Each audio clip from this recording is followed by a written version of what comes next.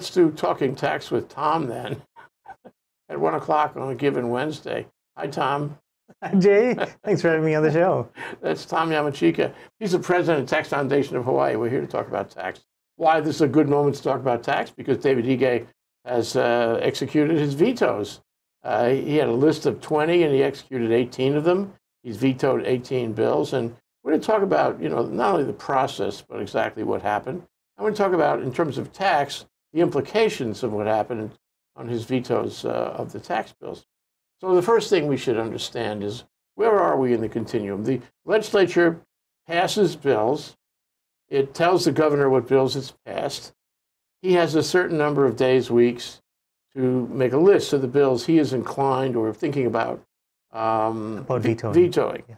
Um, and then the only way he can veto a bill is if it is on that list. If it is not on that list, he cannot veto it. That, that's correct. And, and that's designed to give the legislature notice of what he's planning to veto so they can figure out whether they're going to call an override session or not. Override meaning uh, if the governor vetoes a bill and both houses uh, vote uh, in two thirds in favor of the, of the bill, then the bill becomes law anyway, and that's called a veto override. But uh, you know, the de facto is uh, that the decision to have a session to override the special session costs millions to do the special session, and that decision is made by the leadership of the House and the Senate. Right? They, they the two, two people they decide whether they uh, are going to call a special session. Right? Yeah, although um, they do have meetings internally within the chamber and I guess get people's uh, uh, take on what they're inclined to, to override and what they're not. And if they don't have the votes, I mean, at least they can count. So if Yes. they don't have the votes uh, to, to, to do the two thirds thing, uh, then, you know, why, why call the Yeah, a yeah, special yeah. session? Or why call the override? I suppose you have an interesting situation where they did have the votes, but they decided not to call the over, not to call the special session. That would be interesting. I think that would result in, in the, uh, A front, a front line, uh, fr- uh, head, headline. well, that, that and probably change in leadership. Maybe so. Yeah. So uh, they've, they've already indicated that they're not going to have a special session. that's right. No veto of the 18 vetoes that he issued um, is, is worth their while to have a special session override. And I guess they, they fielded it and found that there wasn't sufficient votes to override a veto in any of those 18 vetoes. So there's not going to be a special session. Right. So uh, basically, our legislative session for 2019 is now pau. Okay. Uh, we know what's what's going to become law, and we know what's not going to become law. Uh, of the four, uh, of of the bills on the 20, uh, four of them involved tax or public finance. Uh, th- th- those are the ones we were following. Um, of the four, three of them were actually vetoed. Uh, just that's kind of a microcosm of the uh, out of 20, 18 got actually vetoed, and, and, and two were spared the axe. Okay, what were the three that were actually vetoed? Okay, so we um, we talked uh, sometime about the uh, real estate investment trust bill, uh, sometimes known as REITs. Uh, the problem there, uh, just to kind of give your uh, give your people a refresher, uh, is that there are uh, federally privileged entities called REITs. Uh, they have lots of shareholders and they invest in real estate. And the, uh, the federal taxation scheme basically says, okay, we're not going to tax the corporation, but we're going to tax the shareholders instead. Okay, uh, as applied to states like ours, uh, it leads it leads to some problems because uh, the REITs do business here, uh, they don't get subject to income tax. The shareholders are not here, so we can't tax them either. So we, we kind of lose out on the income tax. However, uh, the REITs do pay other kinds of taxes like the GET and real property tax. Just wondering if, um, if I am a resident of the state of Washington, for example, where my recollection is, is there no, there is no income tax in the state of Washington. So under existing law, as now confirmed by David Ige, and you know, by vetoing the REIT bill, the REIT, uh, and for that matter, its non-resident owners, um, including this guy we're talking about in the state of Washington. They don't pay any Hawaii tax. That's income, correct. Income tax. And now he gets he gets a, a distribution and uh, amounts to a dividend check in the state of Washington. That's income tax. That's subject to income tax, generally speaking. But since there is no income tax in Washington, he doesn't pay income tax there either. That's right? correct. Yeah, that's really interesting. So, okay, so the arguments that were flying back and forth, I mean, I heard ads. I heard ads. I don't know if you heard ads on the radio, television already uh, about why we should and shouldn't do this. Actually, most of the ads I heard were by capital concentrations that did not want to see the, the bill uh, pass and that wanted to see it vetoed. Right, and and uh, they, along with the governor's message, raised the possibility that oh, uh, if this bill is enacted, uh, you know, in, investment in Hawaii will be disincentivized. There will be in, you know, investors kind of you know heading for the exits. Uh, capital will dry up. Uh, you know, whoa, whoa, whoa. Uh, housing. in the I heard the argument made about housing. We need housing, with desperate need for housing, including, especially, of course, affordable housing. And REIT money, you know, pays for is, is the investment capital uh, for a lot of housing in the state of Hawaii. Um, so we're going to have a problem in raising funds if we pass this bill. If we if we had passed this bill, Right. raising funds for this critical need for housing and affordable housing, housing for the homeless. That's touching a nerve, isn't it? Yeah, uh, I think one common thread through you know uh, most of those arguments was they, they- they're all speculative. I mean, I, I didn't hear uh, you know a whole lot of you know I'm a REIT. I'm planning to invest in Hawaii. If they'll if this bill passes, I will not come to Hawaii, or I will take my you know I, I will take my Hawaii investments and I will pack up and leave. I didn't hear any of that. Did you? No. No, you're right. It was So, speculative. so, so a lot of it uh, was speculative, which, which kind of bothered me. Yeah. Uh, because like even when um, the uh, you know the Amazon click-through Nexus bill was being considered by the Lingle administration, you know, some years ago, uh, they ca you know Amazon did come out and say, look, if you pass this bill, we are going to cancel all of, all of our distribution agreements with Hawaii people, uh, and we will go home. And that's what led Governor Lingle to veto the bill uh, at that time. yeah. Well, um, it's, it's, it's really interesting. And, by the same token, by the way, I, um, I, I never, I never was straight on exactly how much money uh, it would have uh, raised for the state had the bill not been vetoed. I Right, heard the- it, a the- few million dollars. I heard up to 60 million, but how many do you know? Uh, there were varying estimates. Um, a lot depends on the assumptions that you make, uh, but the estimates ran between, uh, you know, four, four to five million in the first year to, you know, 30 to 60 million. Uh, again, you know, depending on who, whose money and, and whose um, uh, statistics you believe. Yeah.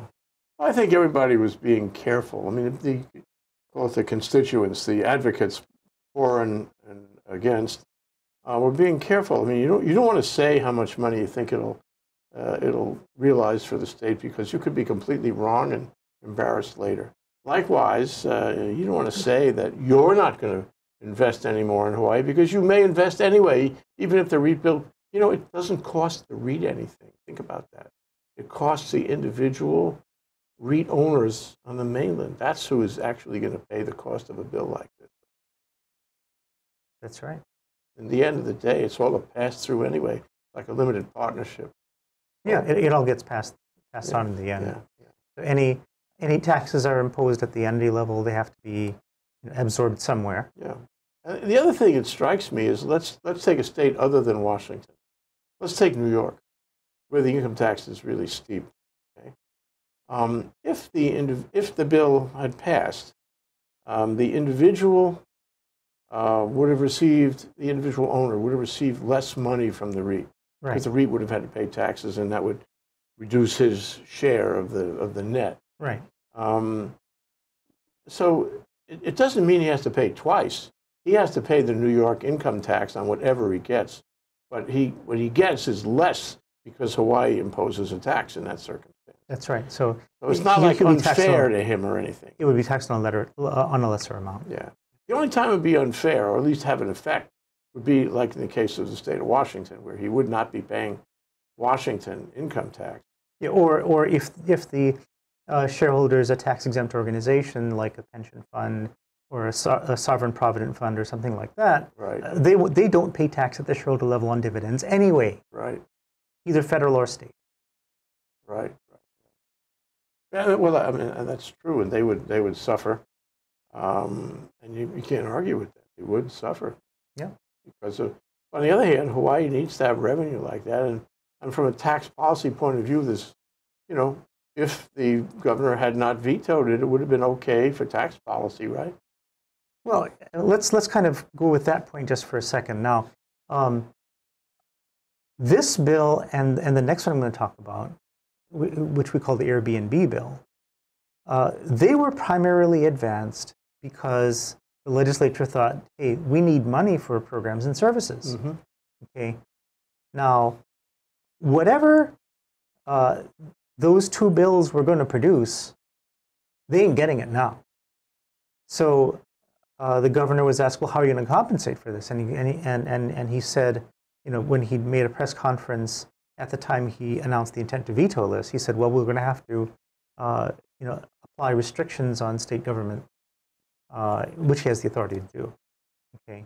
I mean, a certain amount of budget goes to an agency, and he can tell the agency, you know, you spend 10% less. Yeah, that's always hard. You go to an agency and say, slice your budget 10%. And um, the agency says, what 10%? What programs do you want us to drop? And the state says, you figure it out. You just drop 10%. That's all you do. This is very hard. And sometimes when this happens, the agency makes a mistake and drops the wrong programs. Uh, but the budget does get reduced when that happens. I'm not sure if that's a good way you know, to grow or to evolve or to shrink state government. Uh, it needs it needs more nuance to say what programs survive and what programs don't. Yeah, I mean, for, for a number of years, um, that's what the Ige administration had been doing. Uh, they- administration too. Yeah, yeah, but I think more in the Ige administration, because the, the restrictions were, I think, 10% as opposed to Lingle's 5%. Uh, agencies had to, had to cut back on, their, uh, on everything they did quite a bit. And, and there are a lot of costs that are hard to avoid, like people, right? Have, you have warm bodies, you can't really fire them, right? Because uh, otherwise the unions would get upset, right? God forbid.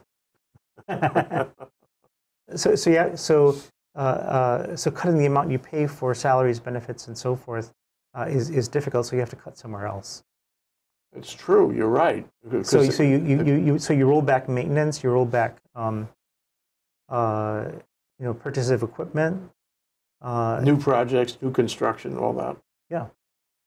so, So, you're really holding back in sort of a progressive development of the state, and you're left with a, a kind of boiled down uh, uh, workforce that is the most expensive part of the program because not only do they get paid and sometimes well, but they get all these retirement benefits, which are you know remarkable and better than many other states. Right. Now, I mean, uh, to be fair, uh, the, the individual agencies don't, um, uh, I, I mean, the, the, the retirement part is not in their budget, it's, it's in budget and finance, but, uh, but they have to deal with the personnel portion. Yeah. Well, if you know, I mean, it's nice that they say that, and it's nice that you know Lingle said five percent and David Ige says ten, but at the end of the day, it puts stress on the taxpayer because to the extent that we don't have money, um, then we we always going to be looking at raising taxes in order to cover the shortfall. Yeah, or, or providing, you know, less in terms of product services. You know, when, when, the, when you need help from the state, is somebody going to be around? Right. Maybe not. Right. And, and what makes this, uh, you know, excruciating is that we are facing climate change and other, and other unliquidated liabilities of, you know, 10, 20, 30, 40 billion dollars. We don't have the money and we won't have the money. And, uh, that, you know, that's really problematic. climate change is going to cost billions. What are we going to do in duress? What are we going to do after that big storm that's coming anytime? Uh, we will not have the money. And then there'll be, you know, the economy be busted over, over uh, the decline in tourism. Uh, we will we'll be in bad shape that way. Well, I think a lot of people, uh, you know, are, are, are too worried to see even that far out. Um, I mean, they're worried about can they can they make the rent payment next week? And a lot of a lot of people can. Yeah, touche. Gives me a headache. Whenever I have a headache like that, I I need to take a break, Tom. Can we take a break together? We're going to take a headache break. We'll be right back in one minute. Tom Yamachika and me talking about tax. Aloha, my name is Mark Shklov. I am the host of ThinkTech Hawaii's Law Across the Sea. Law Across the Sea is on ThinkTech Hawaii every other Monday at 11 a.m. Please join me where my guests talk about law topics and ideas and music and Hawaiiana all across the sea from Hawaii and back again. Aloha.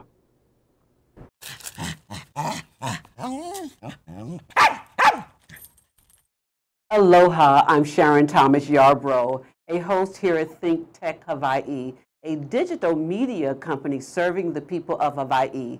We provide a video platform for citizen journalists to raise public awareness in Hawaii. We are a Hawaii nonprofit that depends on the generosity of its supporters to keep on going. We'd be grateful if you go to thinktechhawaii.com and make a donation to support us now. Thanks so much.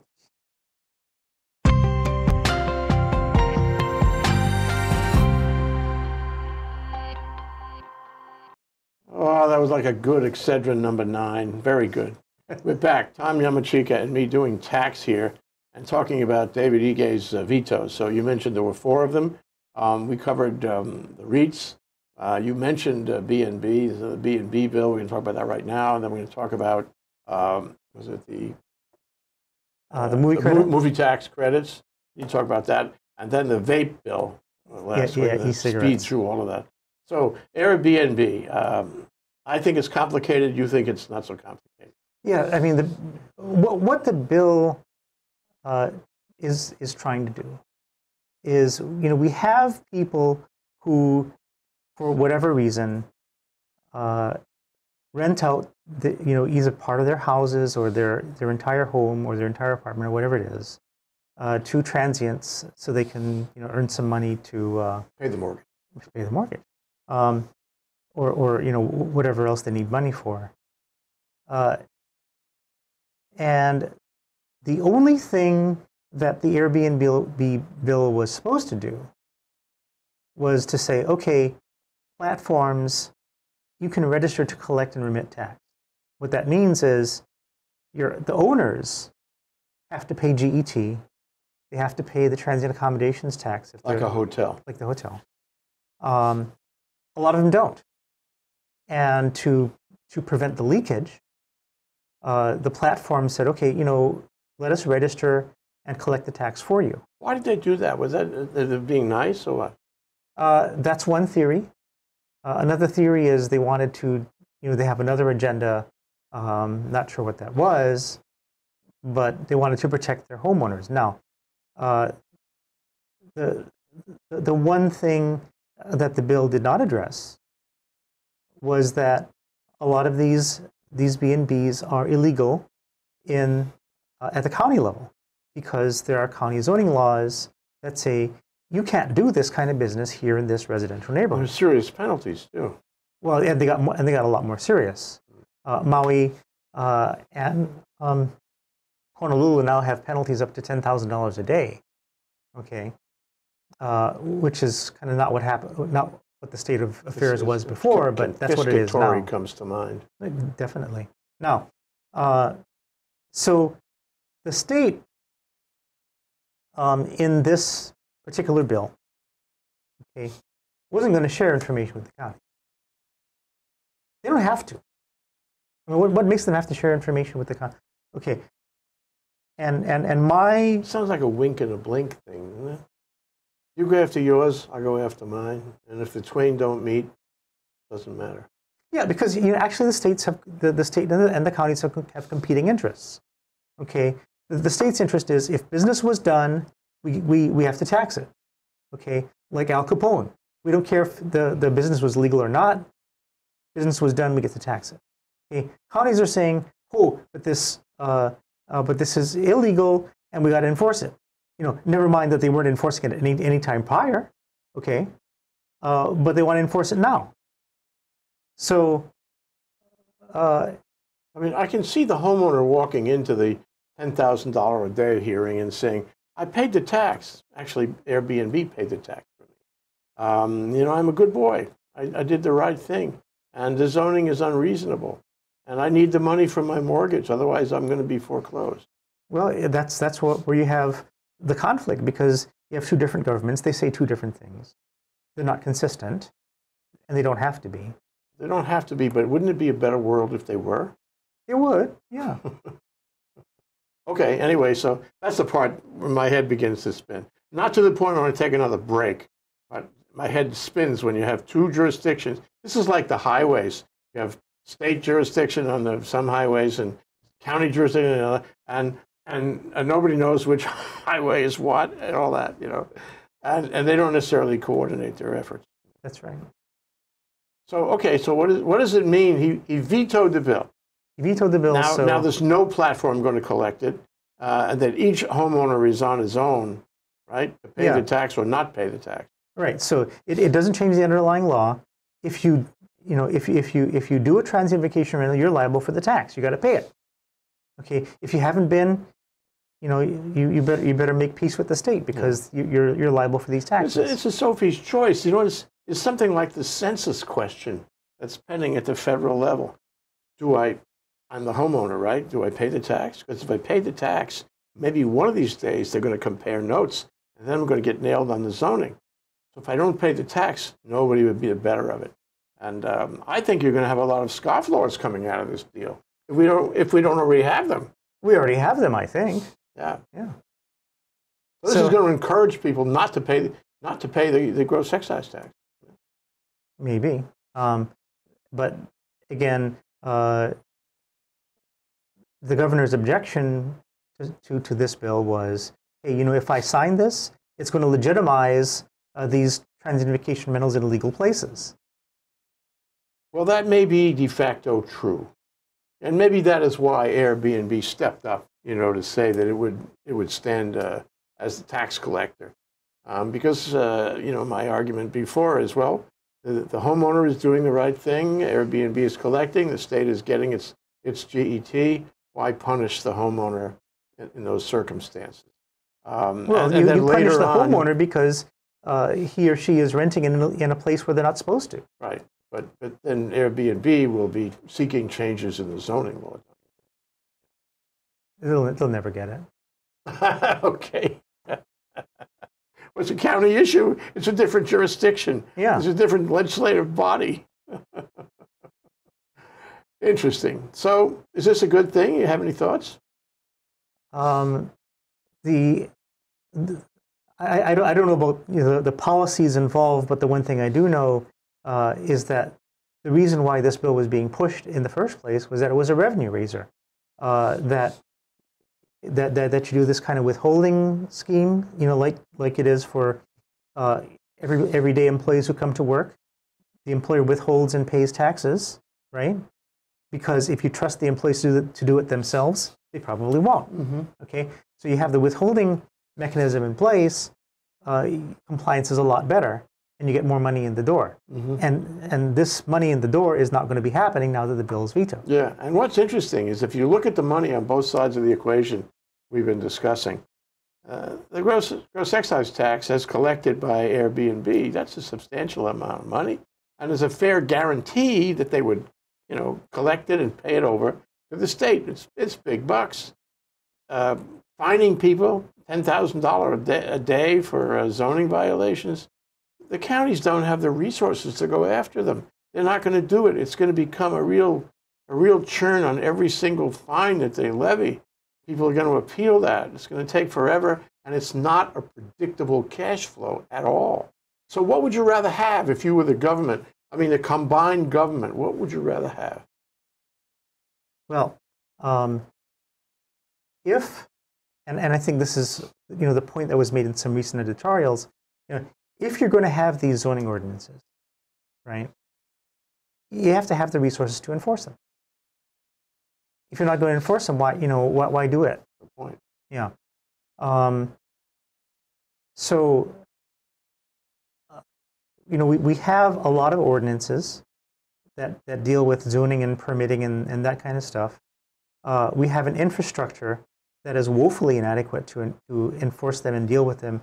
You know, uh, you know, humongous lines for permits come to mind, for example. Uh, inordinate delays in getting anything approved and built. Uh, that, that is a major problem. We don't have the infrastructure, we don't have the resources, and there's really no, nothing out there that suggests we will in the future either.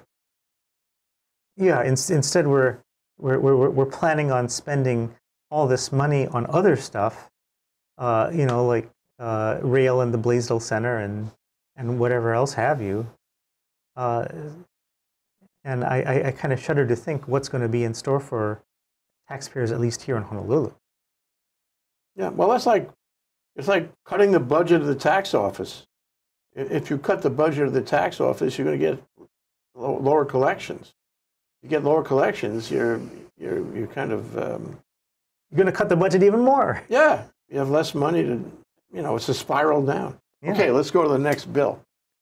Okay, um, the one bill out of the four that did become law was the movie credit bill. Now, uh, what do I mean by the movie credit bill? We, we, we grant uh, credits to productions that come here, film, employ people here, uh, you know, that kind of thing. There's a you know, multi-step process to qualify.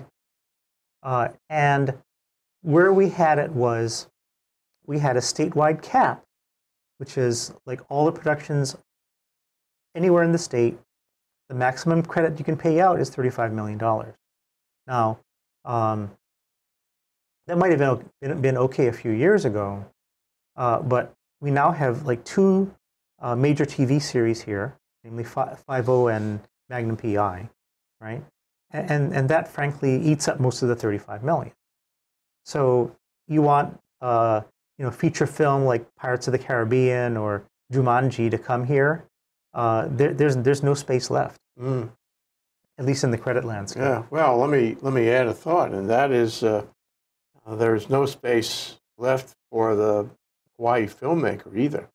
Um, this is all Hollywood style. This is the big boys coming and um, you know making national or global films, but it isn't. It really is does not serve as an incentive um, for local filmmakers, and you wonder Well, for why local, our, for our- local filmmakers, the amounts usually are a lot smaller. So, Yeah. so it's it's easier to kind of like you know. are they getting anything? I think they are. Well, that's good. You, are. can you can you can shoehorn them in I easier I- than, but than I a think major the local production. film industry is not up to what it could be if they were really incentivized. Yeah, but, but but I think you know the other reality you have to face is that a major production comes down here, they spend major amounts of money in in our economy. Yeah, sure. It's just a coupon clip. We, you know, we're investing. It's an investment, Yes. and and and they and they hire a lot of people, especially the unions, right? Um, and they, they they throw money all over the place. Sometimes they throw more money around than they should. You know, they spend a lot of money on these big budget films. They do. and we get a lot of it here in Hawaii. So it's it's a it, film the film office, the film mm, uh, you know the film incentives are for that. Uh, they're not necessarily to build great films. They're not necessarily to build a film industry. They're a matter of jobs. Right. And so what this bill does, and this is the one that, that governor allowed to become law, is it basically raises the 35 million cap to 50. Fifty. Mhm, Well, Right. that's a substantial increase. Yeah. Hope- I mean, it's, it it's not what the uh, it's, it's not what Hollywood wanted. Hollywood wanted the uh, cap to be removed entirely, but uh, that's not what legislators. yeah. Yeah. You still have a, a limited pot. Yes. Um, yeah, and, I, and we can't spend any time on this, but um, they, they don't have a, an Act 221. They don't have a, a tech a tax credit, and that's really sad. Yeah, it used to be the two of them Yeah. were joined at the hip, right? You remember the Right. original 221 was a combination of, of film and uh, tech investment. Now it's film, but no tech investment. Uh, They, they have some tech investment uh, um, incentives, but they're you know in different places. How do you say peanuts in French? Never mind.